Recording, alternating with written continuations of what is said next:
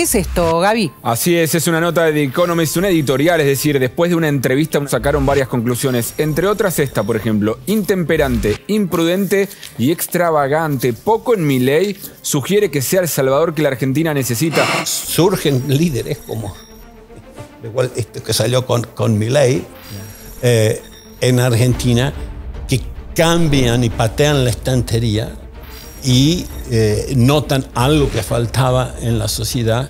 Lo define Milley como una mezcla entre Donald Trump, pero más mal hablado y peor peinado, y, y Murray Rothbard, un mm. economista austríaco muy radical que siempre decía lo que pensaba sobre cualquier tema. Eh, Murray Rothbard fue muy generoso amigo. Yo tuve la suerte de muy joven conocer muchas de estas, estas liberales y, muchos de ellos eh, siempre me quedé en el campo los conocí a veces desde teenagers, no teniendo 20 años y hoy en día están muchos de ellos cumpliendo un rol fundamental trabajando en Latinoamérica más del 90% en el campo de las ideas y mi ley ha dicho que a uno va a estar en, como ministro de Educación.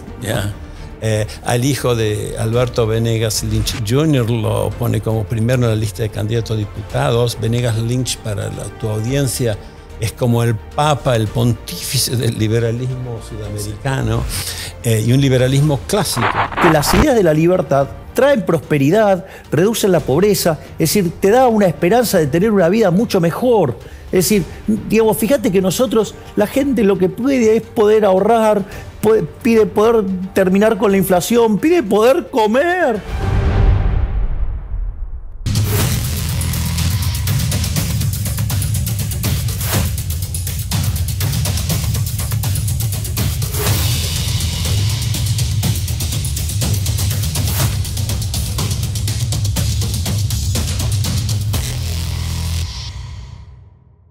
Bienvenidos a Border Podcast. Somos el número uno podcast de todas las Américas, el único podcast que te lleva más allá de la frontera.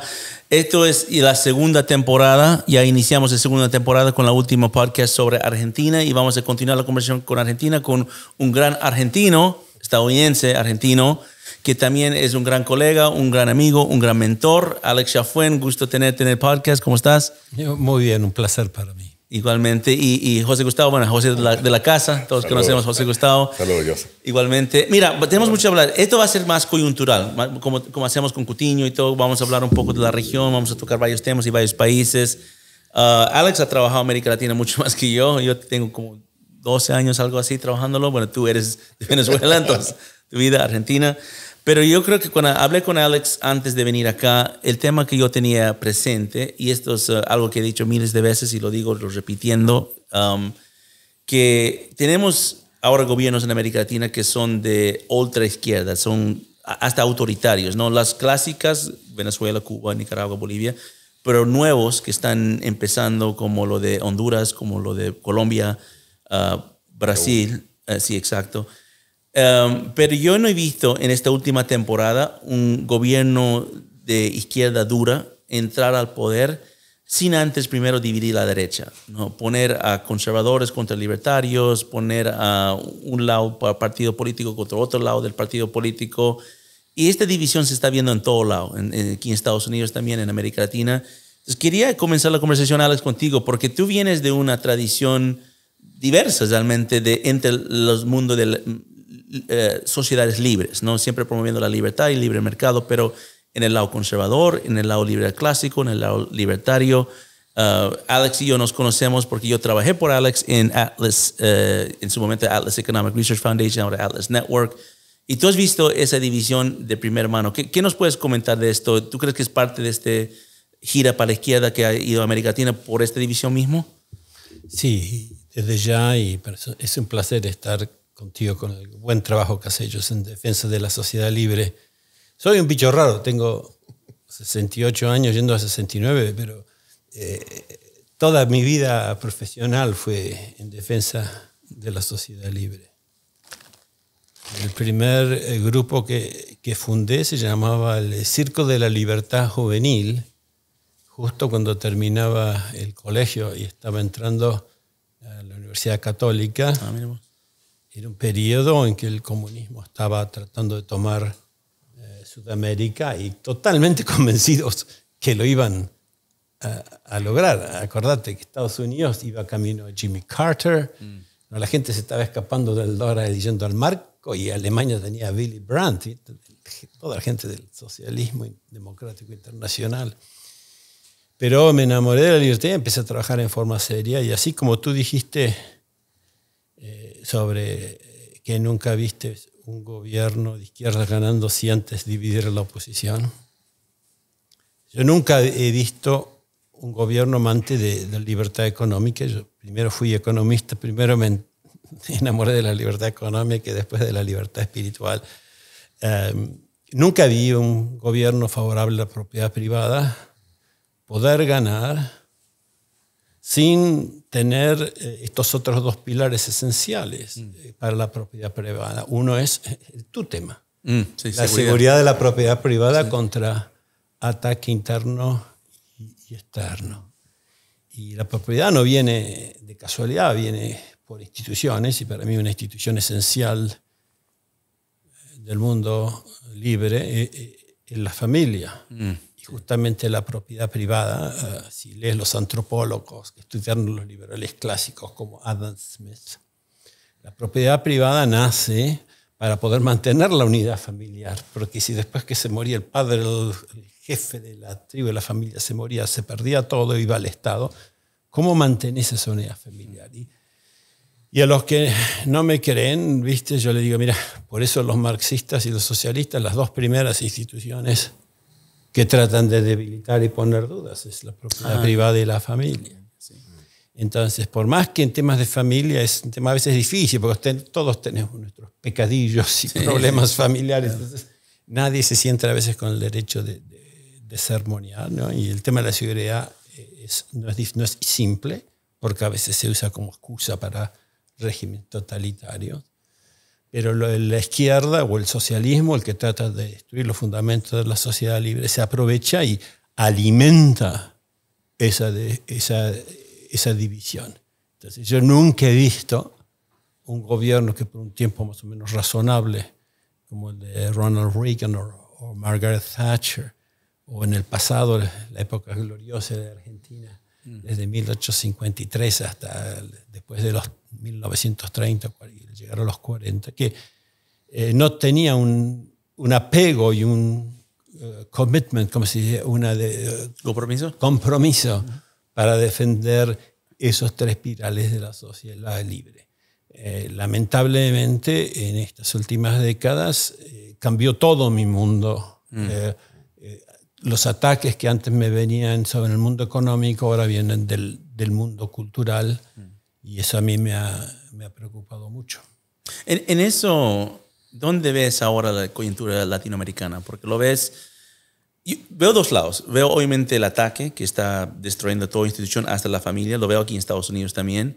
Pero también veo que ciertos sectores están despertando ante eso. Hay una, hay una mucho más grande retórica sobre la defensa de la familia, la defensa de género, la defensa, bueno, de, de, de, la li, li, eh, expresión de su propia religión, eh, defensa del cristianismo, cosas que no hemos visto, existían, pero a lo mejor no estaban tan profundizados.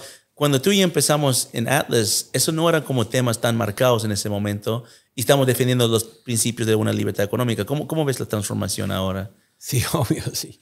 Si decíamos que estas cosas iban a, a pasar, decían que no paranoicos, ¿no? Sí. Gente yendo preso en México por hablar de papá y mamá. o, o, no decirle a un hombre que se cree mujer, ¿viste? Que, es, que es mujer y, y, es un crimen, es increíble. Um, el, mira, uh, yo tengo un modelo que uso para explicar coyuntura. A ver. La realidad. Y es muy simple. Digo, es complicado el análisis, pero el modelo es simple. Digo, las cosas pasan por ideas, eh, por, por incentivos, también liderazgo. En las escuelas, en una escuela de negocios muy importante en Francia, dice, las ideas sin acción son solo ideas. Uh, alguien las tiene que llevar a cabo claro. y tiene que ser el campeón y tiene que arriesgarse. ¿no? Dije ideas, incentivos, eh, liderazgo y después hay un elemento de providencia o suerte. Mm un ejemplo que te digo que está afectando a Latinoamérica hoy. Eh, hay muy pocas redes internacionales que apoyan esfuerzos para la libertad en Latinoamérica. Y una de ellas fuerte es la que, la que apoya la fundación del Partido de los Demócratas Libres de Alemania, mm. Eh, Relial. Hubo un tsunami que llevó a un problema de energía nuclear y de destrozo en en Japón eh, que aterrorizó a los alemanes y decidieron, los, Free Democrats, que eran aliados en ese momento de la cristian democracia, dijeron nunca más energía nuclear, no se arrodillan a Rusia, ¿no? Uh, cambian toda su estrategia. Hoy en día eh, la Fundación Naumann, el partido, es aliado de los verdes y de los socialistas en Alemania. Mm, mm. Y tienen, como tú lo sabes, son aliados eh, de muchos institutos que eran parte de mi familia. Pero ahora tienen una agenda muy distinta. Han cambiado los incentivos de esa fundación. Mm. Ahora, muchos de nosotros que hemos trabajado en el mundo de las ideas eh, pensamos que que lo que está pasando es un cambio en las ideas y, somos muy esperanzados con eso. Mira, yo no voy a hablar en contra de la lucha de las ideas, en el largo plazo es lo esencial. Pero me acuerdo a fines del siglo pasado, eh, la centro derecha tenía dos tercios de Latinoamérica. Vino una crisis económica en Rusia que muy pocos anticiparon. Una amiga mía, Judy Shelton, fue una de las eh, que lo anticipó. Pero esa caída hizo que en, un par de años, de dos tercios de ser centro derecha, Latinoamérica fue a la centro izquierda. Mm. Y, no creo que de golpe los latinoamericanos se transformaron en izquierdistas. Mm.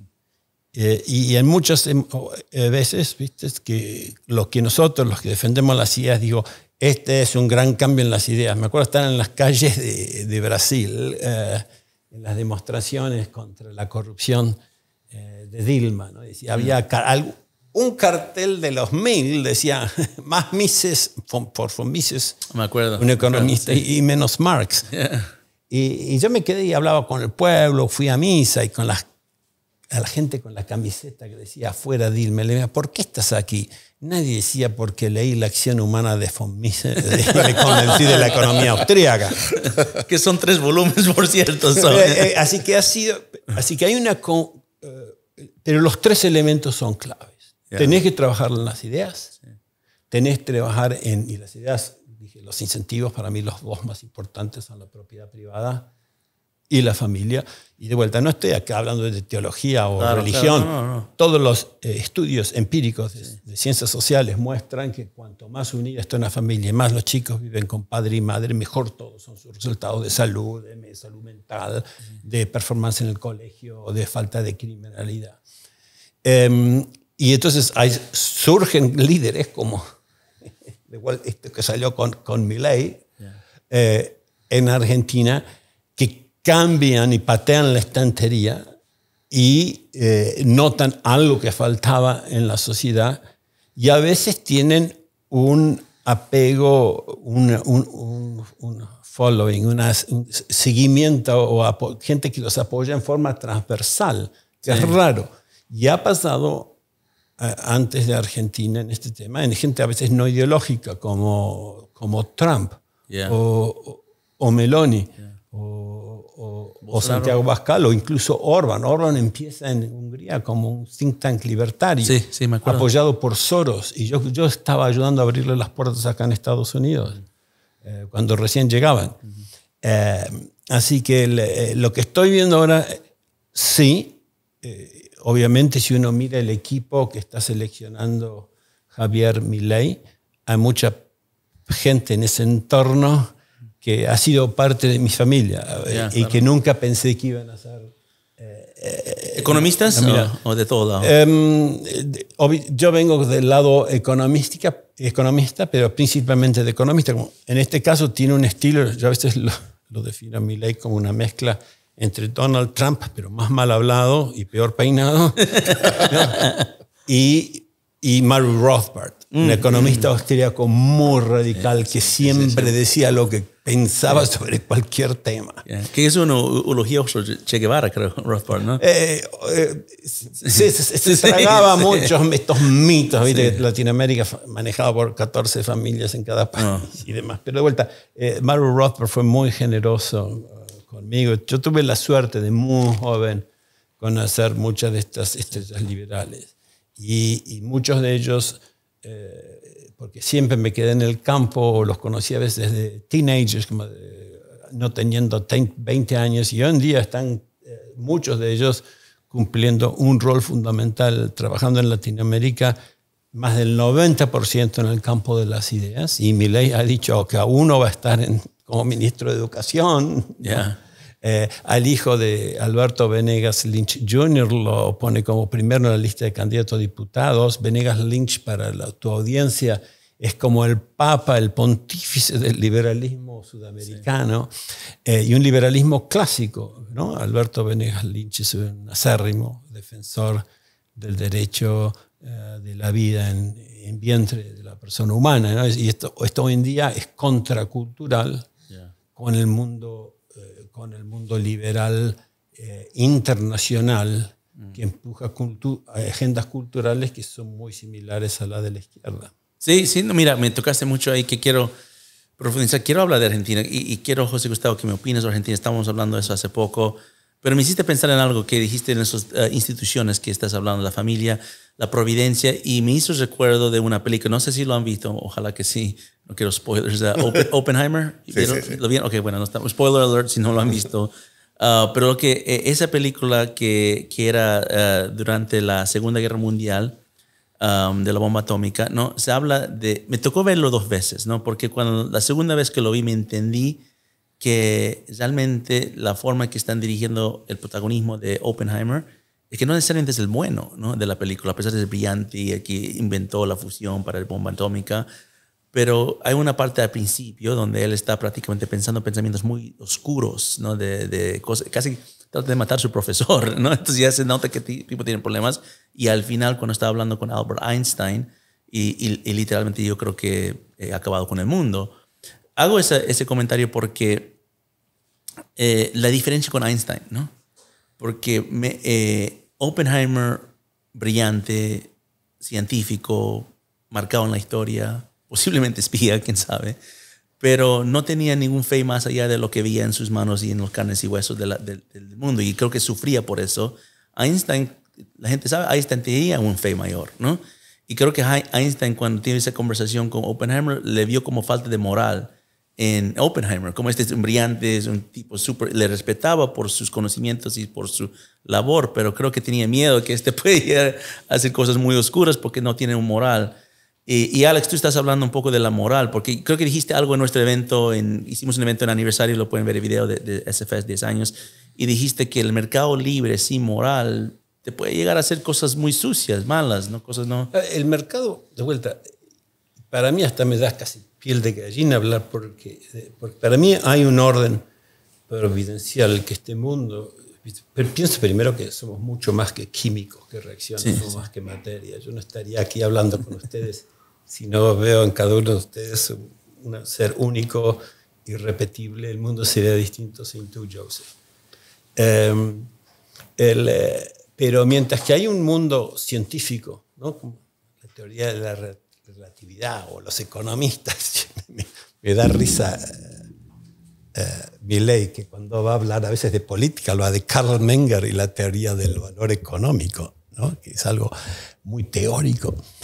Eh, pero mientras que hay una ciencia no normativa, eh, positiva, ¿no? en la economía es una de ellas, si, si, uno incrementa la cantidad de moneda, ¿no? ¿cuál es el efecto en la tasa de interés? no estoy diciendo si es bueno o malo, es, es algo puramente positivo. positivo. Pero lo que es la política económica, lo que es el, marco legal donde se aplican nuestros derechos es totalmente normativa. Uno tiene que decir, bueno, ¿qué es lo bueno y qué es lo malo? Y tratar de aplicarlo. El Estado de Derecho. Y es claro, y eso es hecho por nosotros, eh, los seres humanos. A mí la película me fascinó porque confirmó que cuanto más viejo soy, por más que leo todo el tiempo, cada vez sé que sé menos. Eh, porque obviamente te confirman lo infiltrado que estaba la élite de Estados Unidos del Partido Comunista, en este caso las más grandes universidades. Si has estudiado el origen de, la, de nuestros vecinos aquí donde estamos grabando, de la, de la CIA, la OSS y demás, eh, ellos no tienen ningún problema en contratar a los más grandes, los que ellos consideran eh, historiadores o antropólogos, incluso si eran marxistas, si no los podemos controlar nosotros.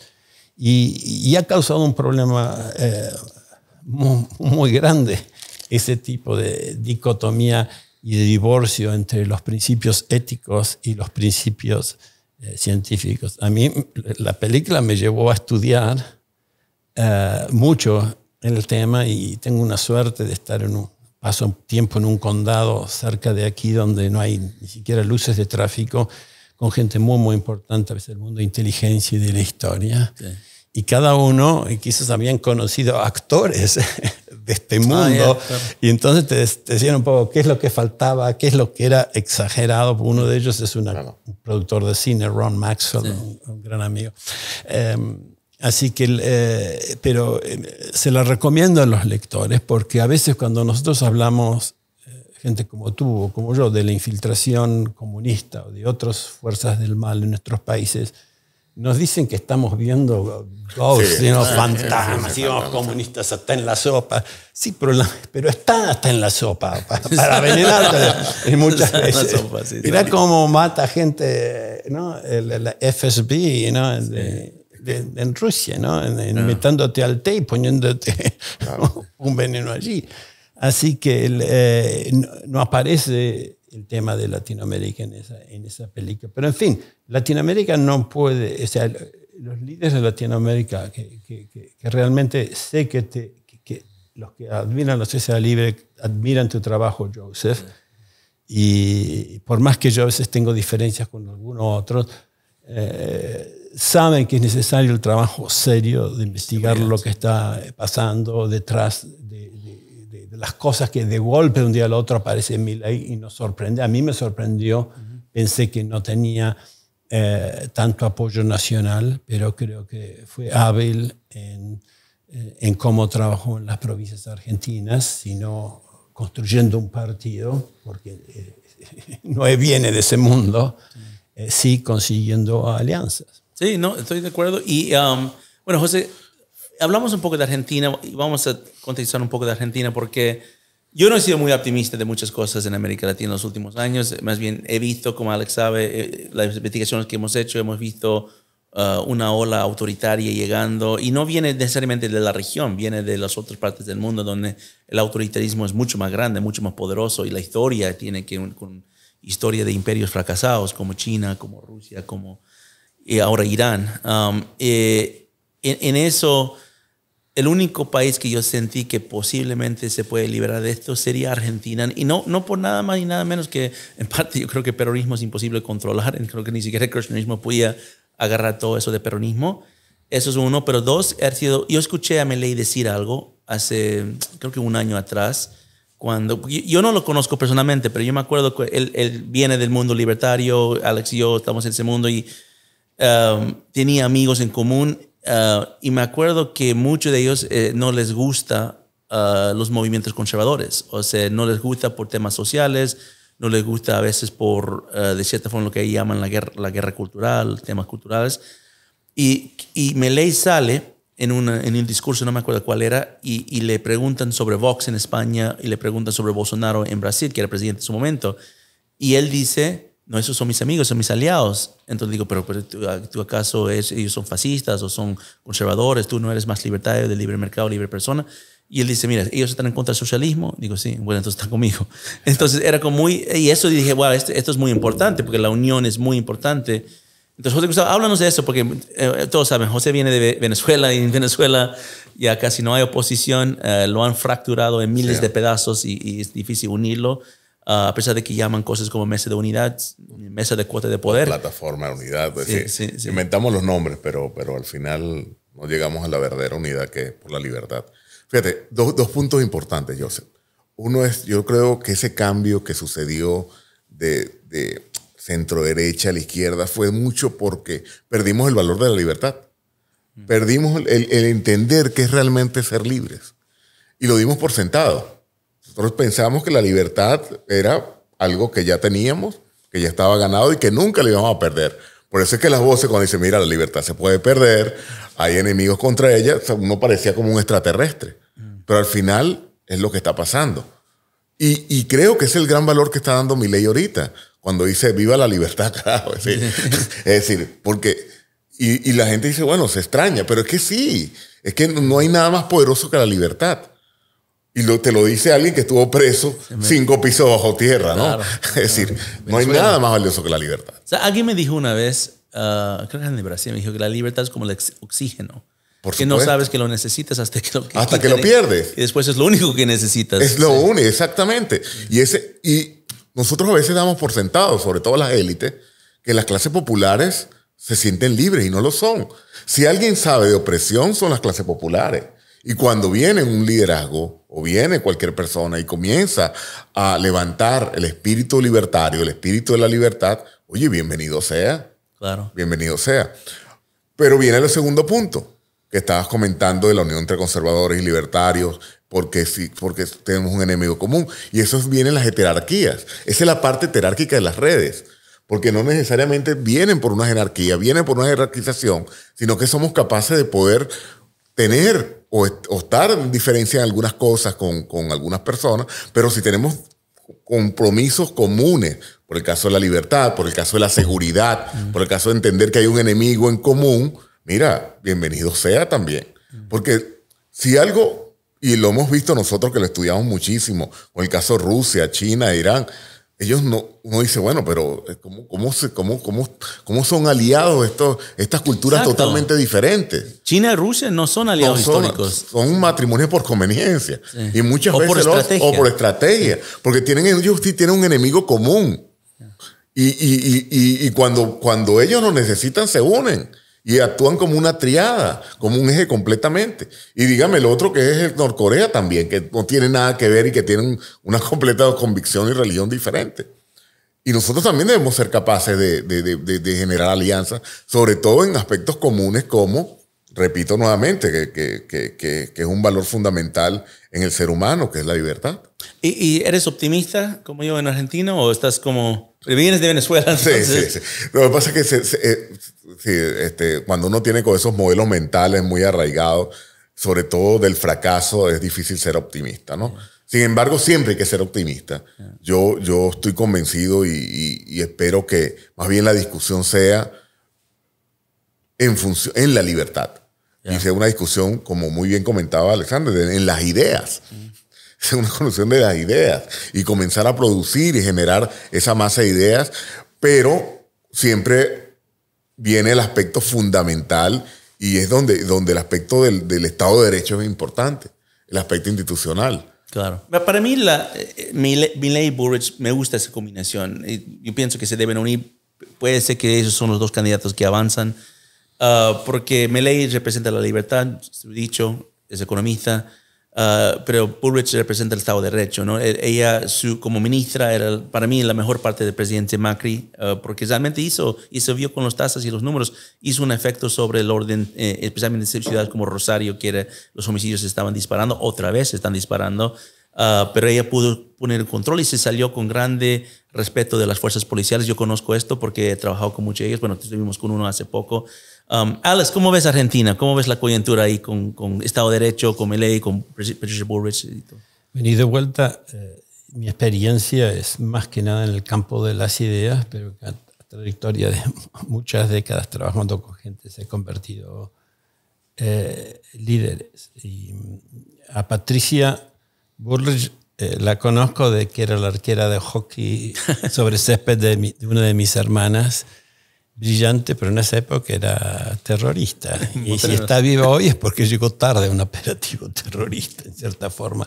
Así que su cambio fue admirable y hubo un hecho de política económica que para mí siempre ha ganado eh, mi admiración, que en el gobierno radical de, la Rúa, eh, creo que fue ministra de Trabajo, y fue la primera que le dijo no a los sindicatos, Sindicatos. sí, que- eh, que son eh, una, con una estructura fascista calcada de grave, no sé cómo hablar español, perdón, eh, copiada de la Carta de Laboro Muy de- poderoso en Argentina. de Benito Mus- eh, Mussolini. La izquierda, para tu audiencia, perdón, el peronismo controla tanto la izquierda como la derecha.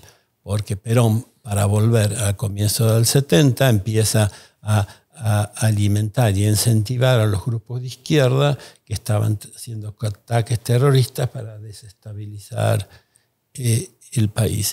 Y a lo que tú dijiste sobre unirte, ¿no? para sobre todo los jóvenes que no, que no saben mucho de historia, eh, para eh, tirar abajo la dictadura primera de Perón, que en Argentina se hablaba la, la segunda tiranía, la primera de, la, la- la de Rosas, un anglófilo, ah, si uno quiere hablar de contradicciones, eh, de comienzo del siglo XIX en Argentina. Eh, el- el- el- la izquierda cultural salió al liberal para traer abajo a, a- a Perón. Es- los historiadores de izquierda, eh, como Ilcíades Peña, por ejemplo, la historia es muy similar, las críticas a Perón, y por eso la ópera Evita es muy, es muy, muy histórica, excepto la figura del Che Guevara, porque él era un joven eh, que, que no existía en esa época. ¿no? Lo traen por ser una figura icónica. Em, así que, bueno, pero Patricia tiene, tiene ese cambio y eh, en, en el área eh, quizás que, que- que a mi juicio los liberales descuidaron mucho, que es la defensa y la seguridad, eh, realmente ha tenido una, una gran trayectoria, sobre todo luego en el gobierno del, del presidente Macri.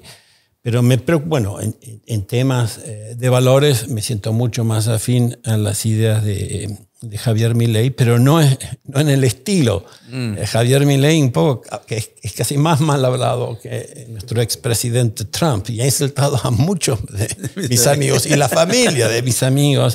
Entonces yo prefiero mantenerme en el campo de las ideas, no voy a hablar nada en contra eh, de, de- de ninguno de los dos eh, como persona.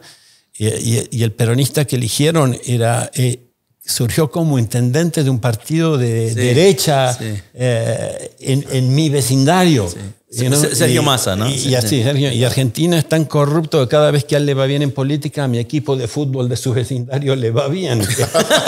Que, es Tigre. Que ustedes se ríen, pero había un polillo que se llama Dualde y su equipo de fútbol le iba bien cuando él Bueno, la, política y el fútbol no hay mucha distancia en Argentina. Eso Así sí. que, así que, pero, así que yo concuerdo con lo que ustedes más o menos insinuaron. Yo creo que sobre todo que si se da el milagro que gane Milei, va a necesitar gente como Ricardo López Murphy o Patricia Bullrich eh, que se han ganado el respeto en las fuerzas eh, de seguridad.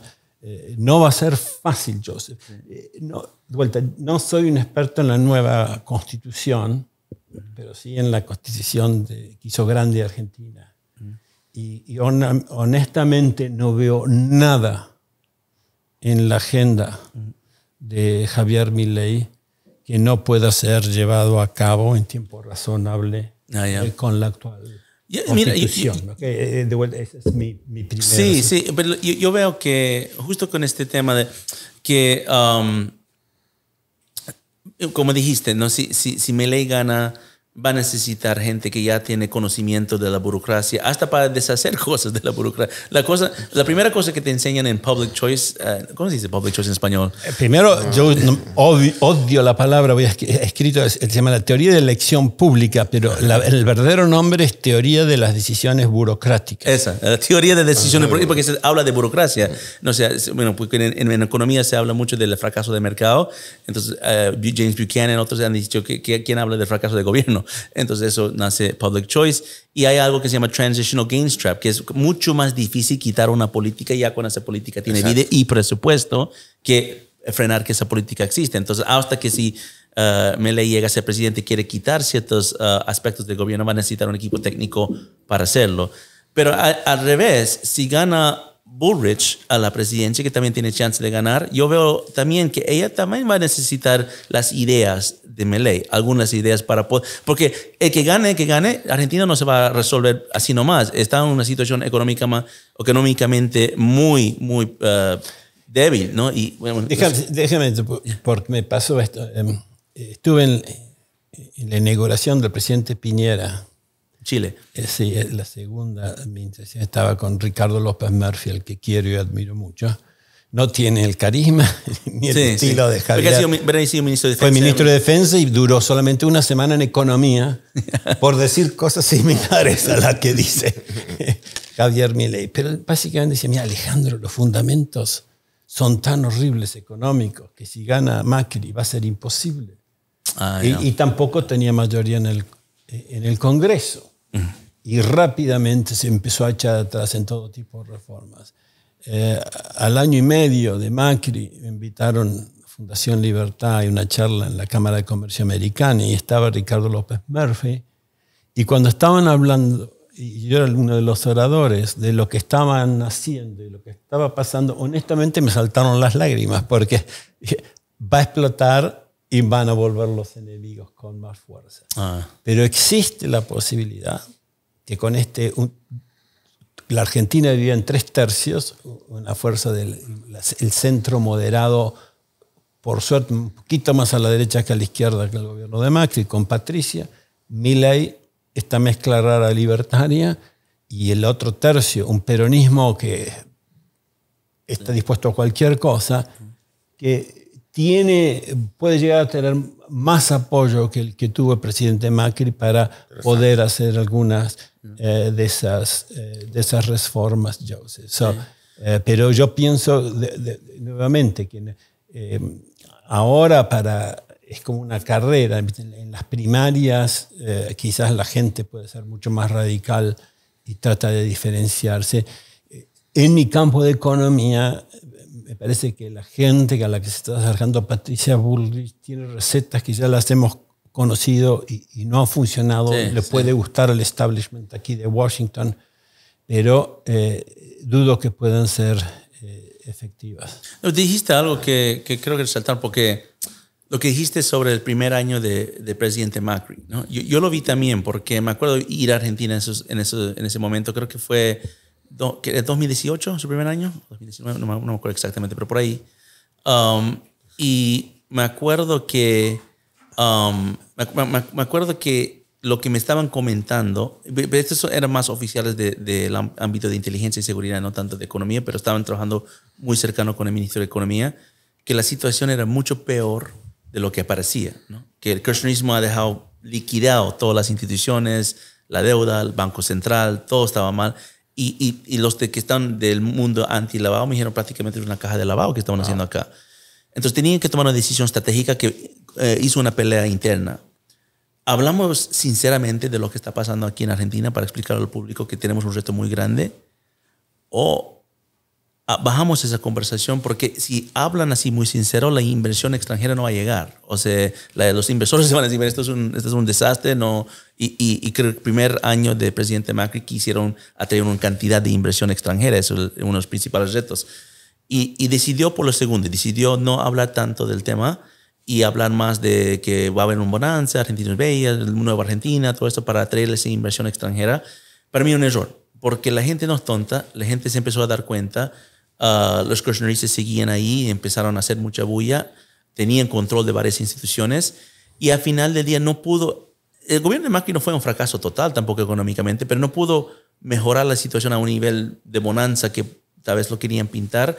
Entonces, por eso dije antes que para mí la mejor parte era la parte de Patricia Bullrich, porque él fue muy realista. Dijo, mira, esto es un desastre, narcotráfico por todo lado, los homicidios están disparando en Rosario, Santa Fe tiene un- unos nuevos carteles que están llegando. Entonces, la gente empezó a poner una expectativa más realista a su trabajo que, que, que lo hizo. Entonces, yo, yo, yo, yo- lo que dijiste, yo comparto eh, lo que dijiste con Ricardo López Murphy y pienso que, que bueno, él creo que está con el equipo de Patricia mismo, ¿no? O sea, sería, sería bueno ver esa unión. Pero fíjate, José, tú comentas algo que es importante que a veces también a las élites se les olvida que, que la gente no es tonta. Sí. Y, y eso es lo que mi ley lo pudiésemos llamar fenómeno, porque para nosotros es muy diferente o no es no normal que vemos en la política latinoamericana y es, un, y es algo disruptivo. Él comenzó a hablar con la gente. Y comenzó a que la gente le expresara y él se sintió con todo lo mal hablado porque así habla la gente.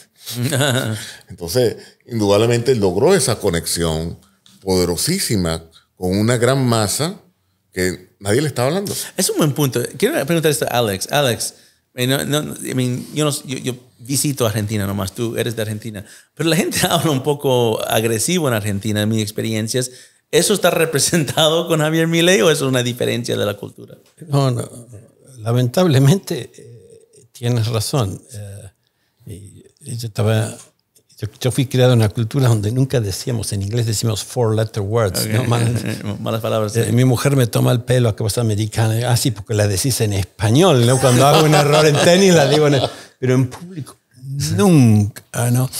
Eh, y, me llama la atención que el, gran filósofo político económico de Milley, eh, que es totalmente eh, anti-Trump, nosotros decimos Trump deranged syndrome, por el estilo y por lo demás, pero Milley es mucho más mal hablado que el presidente Trump, pero tenemos ciertas deformaciones culturales en Argentina, ¿no? obviamente ser liderados por el peronismo eh, ¿no? que orgullosamente se sacaba el saco en el Teatro Colón, mm. pero el eh, presidente Macri, que de vuelta tengo amigos comunes, ¿viste? fue el primer presidente que dijo no a la corbata para, y va a decir que mi ley es populista. La única razón que no quiere tener el corbata. O sea, es eh, que estamos tenemos un problema cultural. Dije que las cosas pasan por ideas, incentivos, liderazgo y providencia social. Mm. La providencia solo podemos rezar, se puede hacer mucho más que eso. Pero en los otros campos podemos trabajar. ¿no? Pero en, en el campo del, eh, de, de, las ideas se cambia de espacio. No hay atajos en la lucha de las ideas. Mm. Entonces, eh, yo he cambiado mi teoría de por qué pasan las cosas en la sociedad, en, nuestro mundo donde tú trabajaste, en el mundo de los think tanks. Mm. Nuevamente, para los oyentes, yo siempre trabajé en el campo de las ideas, pero cuando llego a Estados Unidos, encuentro un inglés que, que, había sufrido mucho por tu campo, Joseph. Por seguridad, sí. Porque tenía, un bebito, al padre lo mata un francotirador en Gaza. Sí, Se junta en la lucha para luchar contra Hitler y como él tuvo que ganarse una de las cosas que alquilaban autos y avioncitos, entonces van como pilotos y en la guerra de Inglaterra pierde a su único hermano. Sí y ve que el socialismo y el nacionalsocialismo avanza. es Anthony Fisher, ¿no? Anthony Fisher. ¿Cómo cambió el mundo? Y, tengo que, pensaba ir a la política y un premio Nobel que tuve la suerte de conocer, luego premio Nobel Frederick Hayek, dice, no, trabaja en el campo de las ideas. Yo no quiero abandonar eso, pero tuve la suerte, Fisher vivía en el mismo apartamento que Milton Friedman en San Francisco edificio en 1750, 1750 Taylor Street. Pueden visitarla. ¿Dónde, ¿Pero dónde? ¿Dónde se En San Francisco. Él estaba en Stanford, Hoover.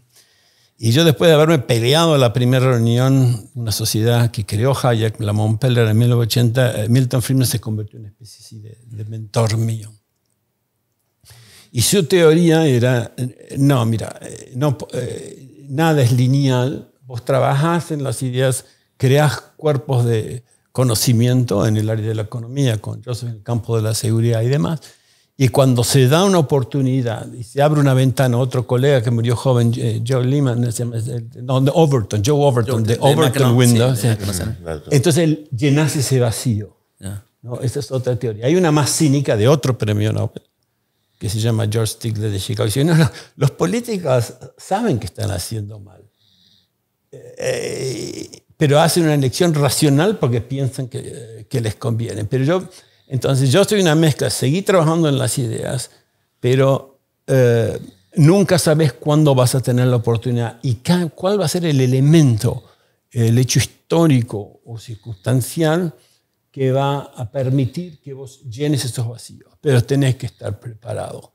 Y, yo lo estoy viendo en Argentina y otros países como en Guatemala. Pero miren lo difícil que es. En Guatemala hay una universidad que Marroquín, nosotros amamos más de medio siglo y ahora ha caído en manos de, de la izquierda. Sí. Y no hay casi país que donde se ha trabajado más en el campo de las ideas de la libertad que, que, que, en Guatemala.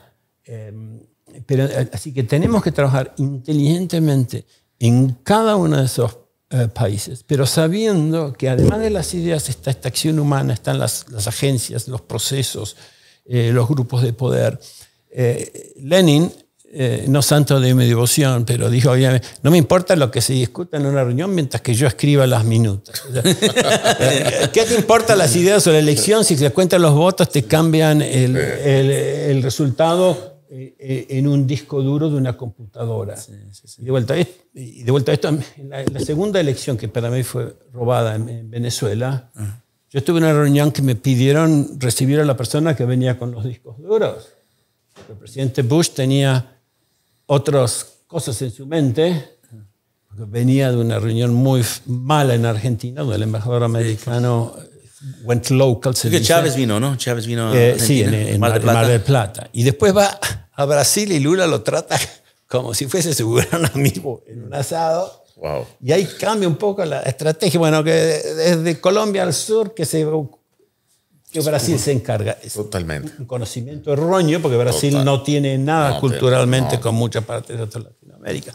Así que yo, eh, por eso me, soy, tú sabes que estoy tan admirador de tu trabajo, porque eh, la, lucha de las ideas es esencial, mm. pero tenemos que trabajar en otros, otros campos y en Latinoamérica muchas de las derrotas que hemos visto es por falta de trabajo estratégico del lado de defensa de la libertad en favor de las ideas que tú y yo. Sí, no, no, eso, eso así muy claro y, y yo creo que evidente, con, especialmente esta última temporada Ah, donde tuvimos gobiernos de derecha, se puede decir, no necesariamente yo los llamaría conservador, pero eran pro, pro libre mercado, pro empresa, pro Estados Unidos. Me refiero a Piñera en Chile, Macri en Argentina, Duque, en, Colombia. Colombia, Lazo en Ecuador. Pero, pero no tenían mucho sobre seguridad, eh, geopolítica uh, y estrategia. Era muy, uh, queremos crecer la economía, queremos atraer inversión. Ni siquiera economía en términos de institucionalmente querían construir incentivos, era simplemente dinero, inversión, inversión, inversión. Y creo que lo veo un poco short-sighted, ¿no? Del, del, juego más grande uh, allá. Um, mira, José Gustavo, quiero, quiero que hablemos un poco de, quedando con Argentina, pero hablemos un poco del nexo de Argentina-Venezuela. Lo hablamos con Ricardo, ¿no? Pero hablamos con Alex sobre esto también, porque para mí la sombra negra sobre América Latina es, Venezuela. Y muchos no lo ven, porque ya, ya no se discute tanto, ¿no? Se, se habla un poco como caso perdido, pero yo veo que Venezuela está muy activa. Uh, esta última jornada de elecciones, donde se ha visto Petro ganar en Colombia, Xiomara Castro en Honduras, Boric en Chile, Lula en, en, Brasil, le han favorecido muchísimo. Maduro está como muy, no sé, confianzudo sería la palabra, pero está como cómodo, digamos, ¿no? Eh, ¿Qué sería un giro de cambio en Argentina? Porque es estratégico. Alberto Fernández, a pesar de que han tenido diferentes palabras, es aliado de ellos. No, Alberto ha sido quizás uno de los presidentes en Latinoamérica en los últimos años más eficientes en la normalización del régimen de Maduro. Él, él, él, ha sido una voz cantante tanto en todas las, en todas las organizaciones, en todos los eventos multilaterales que ha habido o donde ha tenido presencia Alberto Fernández, siempre ha buscado que Maduro esté presente, vamos a, involucrarlo en, en, nuestros, en nuestras ideas, en nuestras organizaciones, para mantener siempre a Venezuela a flote. Pero quizás lo que el régimen de Maduro ha hecho en Latinoamérica es destrozar la institucionalidad. Es decir, que las personas dejen de creer en las instituciones. Y, va, y aprovechar el flanco débil que tú has comentado, que es la parte de seguridad, porque muchos han querido no ver, sobre todo el narcotráfico, el lavado de dinero. El, propio Juan Guaidó, o sea, no tenían equipos de seguridad. No, no, no. entonces, entonces, y es un tema que ha sido tabú. Es un tema totalmente tabú. No, mira, el tema de seguridad no se toca, no se habla, no se discute. Ahorita en Venezuela hay un gran problema por una, algunas declaraciones sobre, sobre los temas de seguridad. El tema, entonces... ¿Te piensas lo de Antonio Ledesma? Sí, lo de Antonio Ledesma y la parte militar. Que al final tratan y llevan, y han sido muy eficaces en eso, en llevar a la parte política netamente condicionada a lo que ellos quieren. Y esa, y, esa, y esa parte es lo que hace que ellos tengan una parte de la guerra ganada, que es la guerra de la narrativa y la guerra cultural. Donde palabras, por ejemplo, ellos son especialistas en hablar de paz. hablan de paz, hablan de, de justicia social y son temas que van evolucionando y cuando quizás han sido los que peor han sido en esos, en esos aspectos. Bueno, Maduro ahorita no quiere hacer una organización, una, un- una convención de la migración en Venezuela, a- a- hablando sobre los respetos a los migrantes, cuando ha sido quizás el causante de la mayor migración masiva en la historia del hemisferio occidental.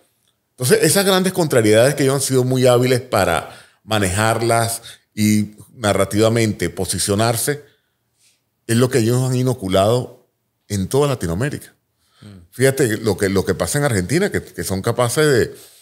Mira, en cualquier gobierno, en cualquier lugar, un ministro de Economía, con los resultados que tiene, Argentina ni siquiera se lanza de candidato. Es muy, es muy eh, chistoso. Sí, no, no tiene sentido. Pero Eso a mí me refleja más que no tenían candidatos. Por supuesto, pero, pero es un chiste. Porque hubieran corrido a Cristina, me imagino que sí, que sí podían, pero no. O, o a cualquier otro. Mira, si tú quieres colocar a alguien, porque tú dices, mira, ya nosotros perdimos totalmente, col- colocas a alguien de fútbol que al menos dentro de 5 o 10 años. o que- ¿Cómo se llama ese el gobernador? ah, Kis- Kisilov. Kisilov. creo que- ¿Economista Kisilov? No sé.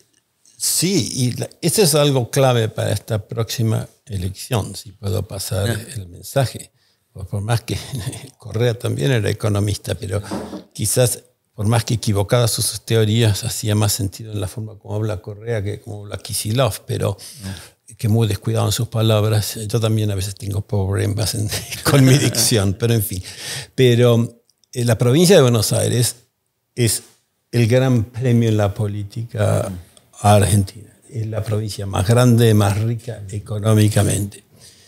Y ese es un campo donde realmente tanto Patricia Bullrich y Juntos por el Cambio y Libertad Avanza de Milei tendrían que tener un candidato único para derrotar a Kisilov Claro.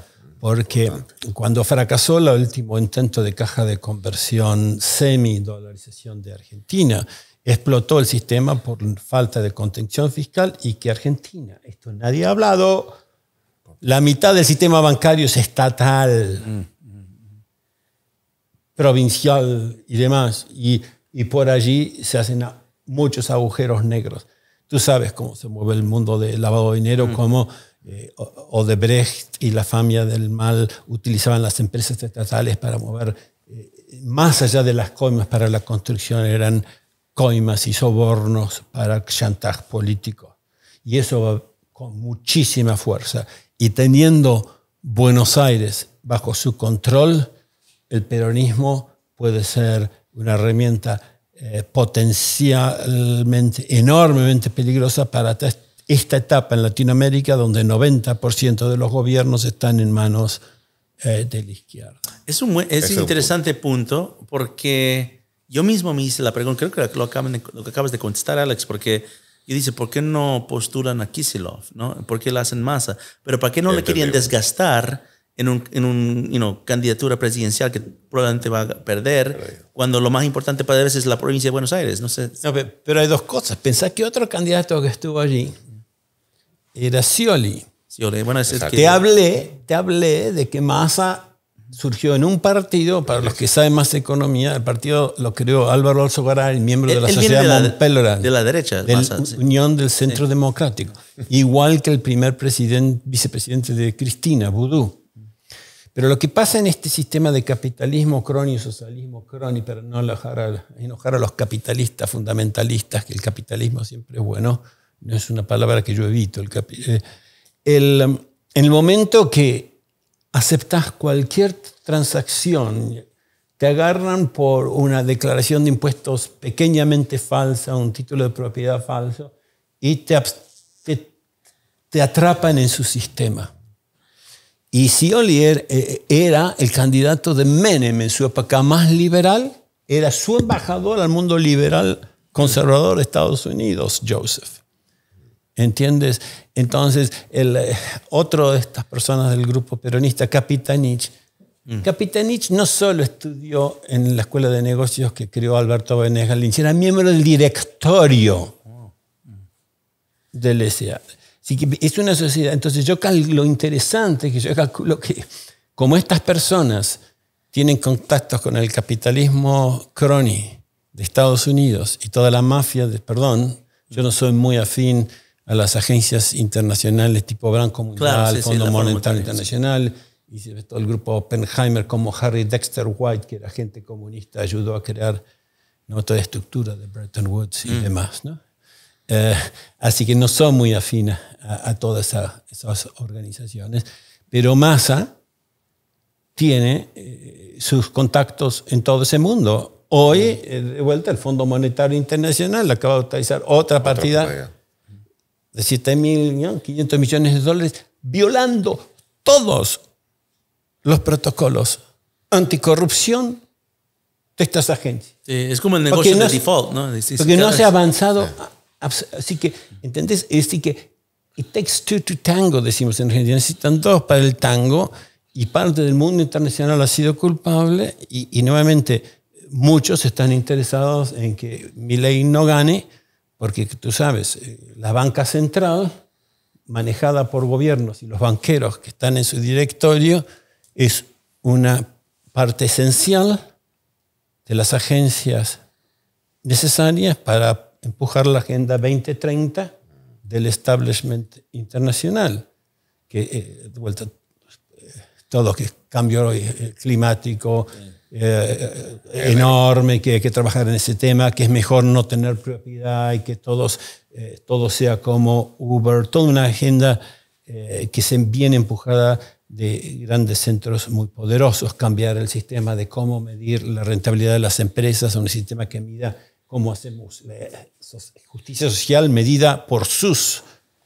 parámetros de gobernabilidad, de ecología y social, que los violan cuando quieren. Porque en la gente de esa agenda, cuando hay que comerciar con China, eh, comercian Que- con que- China. que. Sí, mira, entramos en eso porque hablamos un poco de los actores externos. Ah, yo tengo una idea más o menos cuál sería la política exterior de, de, de Patricia Bullrich si llega a la presidencia sobre el- China, principalmente Irán, que tiene una historia muy nefasta en Argentina, a Rusia, que también está... Acuérdense que Alberto Fernández dijo que nosotros queremos ser la puerta de Sí, entrada de, de Rusia, de- de Rusia, pero, pero después Maduro dijo, ya tienen, tienen su puerta de entrada, la puerta de atrás. Pero para salí así. Sí. Eh, um, Alex, háblanos de eso. ¿Qué- qué- cu- ¿Cómo ves a la coyuntura geopolítica en Argentina en este escenario electoral? Obviamente sabemos si gana Massa, eso van a ser continuar con lo mismo, pero si gana Bush, si gana Milei, ¿cómo sería la coyuntura geopolítica con los actores? Principalmente China. Es un tema difícil. Um, uno de mis mejores amigos que fue, fue como tú, fellow en mi anterior organización, donde no tengo lazos ahora con Atlas, pero eh, Francisco de Santibáñez, soy Ah, claro, el- sí, sí, el think tank más reconocido de Argentina, CARI, eh, una persona muy bien formada, ¿no? Eh, John Hopkins, eh, creo que fue King's o Queen's College en Inglaterra. El, um, hablando de este tema hace unos meses, Estados Unidos, eh, él, él- él- es una especie de aliado de Estados Unidos, Eh, eh, pero eh, mucha gente en Latinoamérica me dice, me encantaría vender Estados en Brasil, me encantaría venderle a Estados Unidos, pero tenemos todas estas trabas. Entonces, como hay muchas dudas sobre hacia dónde va Estados Unidos, quiere mantener su puerta abierta a China. No sé si es realidad que uno de los candidatos para canciller de Patricia es Federico Pinedo y que participa quizás sería más abierto a dejar las puertas abiertas a, cualquier, eh, cualquier régimen. Y, y obviamente cuando yo me salí de Argentina, de la, vine a vivir a Estados Unidos, eh, China no era el socio principal comercial de ningún país latinoamericano. Ahora es el socio comercial principal de los más, el 90% de los países. Y el único más liberal que existe hoy, ahora, bueno, se fue elegido un gobierno más de centro derecha en Paraguay, pero la calle, que es teóricamente en, en Uruguay es el más liberal con Estado de Derecho, es el que más se ha arrodillado China, sí. a, a China comunista, hasta el punto de decirle que nadie puede hablar a favor de Taiwán a, su- a su gabinete. Estos son nuestros héroes, Joseph. Ahora, obviamente, eh, el tema es mezclado. Vemos que el presidente Biden ahora ha dicho a las empresas que tengan- tienen trabas para invertir en temas de tecnología. De vuelta, yo soy fanático del fanático, no, del libre comercio, del libre mercado. Como pero una cosa es, es comprar destornilladores, ¿no? Y, y, la otra cosa es comerciar con China o darles lugares en un país donde tiene acceso a la tecnología de punta y, a, la inteligencia que les permite saber antes que nosotros qué es lo que está pasando en nuestros países. Sí, la infraestructura, infraestructura crítica. Claro. Sí, sí, eso. Y, y, sobre los otros actores rusos. Sí que no soy pesimista, muy optimista, porque Federico Pinedo ha sido muy ambiguo en el tema, en el tema de China. ¿Y con Milei? Con Milei, de vuelta, no, creo que no, es peligroso decir lo que uno sabe sin pedir permiso. Hay una economista que admiro mucho, se llama Diana Mondino. Y me encantaría que, que Diana eh, pueda cumplir un rol internacional en su administración, pero las otras personas en el entorno que conozco, eh, porque eh, Victoria Villarruel, me alegro que, que, ha reivindicado lo difícil que fue la lucha contra el comunismo en Latinoamérica, pero no, no sé con sus amistades internacionales cómo estaría en este tipo de... es muy difícil, es muy difícil porque es una realidad a este punto de Argentina. Se necesitan dinero y China está apuesto. Yo, yo aprendí durante estudiando un poco la parte de, de la inversión china en Argentina, los mecanismos que China utilizó para poder, eh, de cierta forma, atar a la economía argentina a varios contratos estratégicos. O sea, no permiten renegociar un contrato sin tener que poder abrir a todos los contratos, entonces les ponen a Argentina en una posición... Y, como garantía esto quizás nos puede traer una elección importante que viene en octubre y que tenemos una chance más en Ecuador. Ah, eh, creo que tú conoces eh, a una organización que, que, la estoy reflotando que se llama el ACER Hispánica. Claro, sí. Y, y, una de las jóvenes talentosas este, eh, está con Novoa. La vice, ¿no? Sí, Verónica Abad. Y, eh, ¿Ella estaba con Hacer? Sí, trabajando, fue una de las últimas personas recibiendo, trabajando con nosotros, así que eh, es un candidato joven, empresarial, y quizás le arruinan el negocio a la candidata de, de Correa. Pero justamente allí China se le fue la mano en su agresividad en los negociados en Ecuador y el y, Lenin Moreno cambió un poco la política que estaba siguiendo Correa. Así que sería muy importante para Latinoamérica. Eh, obviamente hay que, por todo, rezo y trabajo para que no tengan el completo control de Latinoamérica los comunistas, pero están a un paso, Joseph. No, están más que un paso. Yo creo que sí, hemos perdido mucho aspecto de América Latina. Hablaste de Ecuador, yo estaba en Ecuador hace poco. Interesante, yo, yo no estoy muy alegre con la presidencia de Guillermo Lazo. Yo creo muchos amigos están en el gobierno, pero hicieron un trabajo. Eh, eh, todo lo que hablamos de enfocar solamente en la parte económica desenfocar en la parte de Estado de Derecho y seguridad, eh, caso y ejemplo. O no hicieron nada sobre seguridad, los carteles han tomado prácticamente todo el terreno. Uh, hicieron solamente propaganda sobre la, la, lucha contra el crimen organizado. Te doy un gran ejemplo. Eh, el puerto de Guayaquil es el gran puerto donde se exporta la mayoría de la cocaína que va a Europa por el Pacífico. Uh, llegando a Bélgica, casualmente donde Rafael Correa ah, está exiliado, y manejado por la mafia albanesa, ¿no? Entonces van a tener un rueda de prensa la, por la Fuerza de Seguridad de Guayaquil Nacional, van a decir que hemos decomisado por decirlo, 15 kilos de cocaína, ¿no? Que van a mostrar 15 kilos de cocaína. Pero la cocaína no entra por Guayaquil, entra por la frontera de Ecuador y Colombia. Entonces, ¿cuántos kilos entraron y cuántos han agarrado? Porque si entraron 100 kilos y agarraron 15, ¿qué pasó con los 85? Entonces, los carteles empezaron a ver ese negocio y digo, oh, solamente tenemos que dar 15% al gobierno. Se quedan contentos, hacen rueda de prensa y bueno, los demás los dejan tránsito libre. Y eso es lo que me explicó la policía y el Ministerio de Interior de, de Ecuador. Y, y voy a eso para decir como a esto, porque a nivel estratégico, quería decir eso porque estoy muy, de cierta forma, descontento con el gobierno del presidente Lazo. Sin embargo, si hay algo que hicieron bien, y, no creo que, yo conozco a la gente que hizo esto, era, es el único, no sé si es el único, pero es entre los pocos gobiernos, tal vez el único en América Latina, que eh, han podido efectivamente renegociar la deuda con China. Pero ¿cómo lo hicieron? Es muy interesante porque yo siempre he dicho esto, China necesita América Latina más que América Latina China. Ahora los, los maduros del mundo van a empezar a hablar de que no, no hay futuro sin China. Algunos de los economistas argentinos, no, no se puede sin China.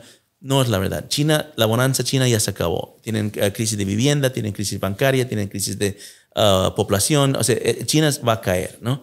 Eh, pero como aprendimos de Venezuela, que caigas no significa que caigas, ¿no? Que significa que, que Sí, que puedes- seas débil no quiere decir que te caigas. Exacto. Entonces, lo que se dieron cuenta es que tienes que enfocar en qué es lo más estratégico que China quiere en tu país. ¿no? Cada país tiene algo que China no va a soltar. Todo lo comercio y eso, esos contratos, dinero que viene y va, pero tienen algo que querían posicionar geográficamente, ah, geo- geopolíticamente y, y con ambición militar.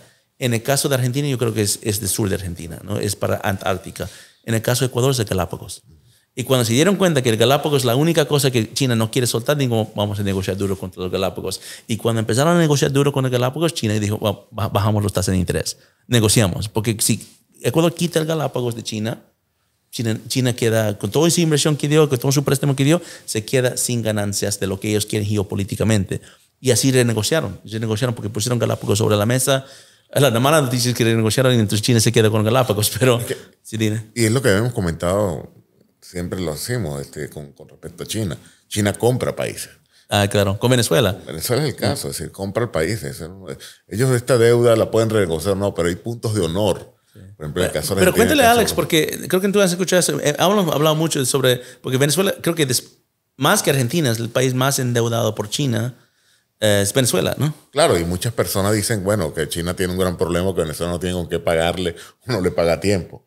Lo que en realidad sucede es que China tiene el control sobre Venezuela muchísimo más barato que cualquier otro, otra cosa, porque no es que no te paguen, sino que China está y tiene control y toma decisiones sobre Venezuela, no importa que no le paguen, porque al final tienes un voto, tienes, tienes, tienes presencia en las zonas económicas especiales, tienes, tienes hasta la minería donde ellos Concesiones sobre terreno. concesiones sobre terreno. 50 años para adelante. Entonces, mira, prácticamente son los dueños del país.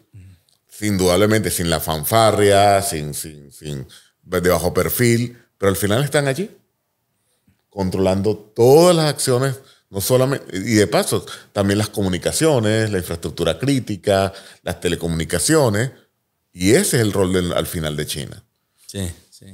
Mira, para ir final- finalizando, um, yo siempre trato de terminar con algo de optimismo. So, vamos a ver, ¿qué, qué, cómo ves América Latina, Alex? Tú tienes mucha experiencia sobre la región. Yo sé que muchas cosas no están muy buenas. Uh, para mí Argentina me da un poco de optimismo, a pesar de que sé que no va a ser una tarea fácil. Pero hay algo en la región, no solamente Argentina, pero algo que te vea como te, que te da un poco de inspiración para bueno, seguir en esta lucha que estamos todos. Bueno, de vuelta, como soy el más viejo aquí, y nuevamente, acuérdense, cuando yo estaba en, en la universidad, teníamos una célula terrorista en la Universidad Católica.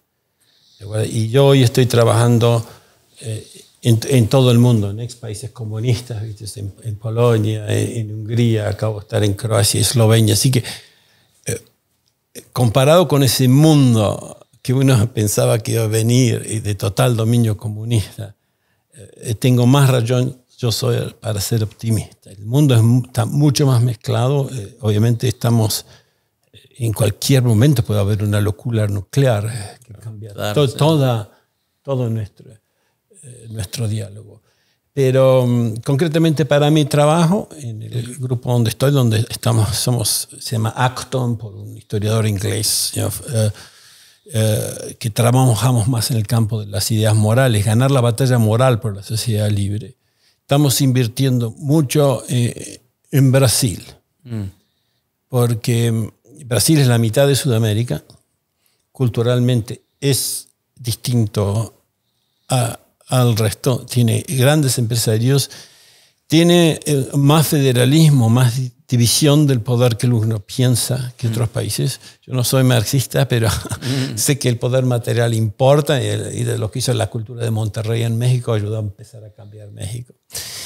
Y el, el- el- este milagro de la coalición Bolsonaro ha llevado a que hay más gente en el Congreso eh, y en sectores políticos en Brasil que había antes que defienden ideas parecidas a las que defiendo yo, que son las eh, el liberalismo clásico en Argentina sería de Juan Bautista Alberdi y en Estados Unidos una mezcla de los padres fundadores.